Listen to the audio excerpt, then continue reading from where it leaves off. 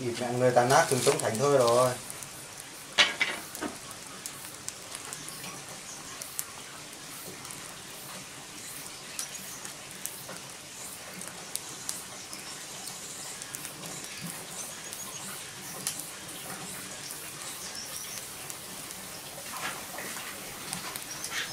Nhịp mẹ tay bắt đầu em ạ.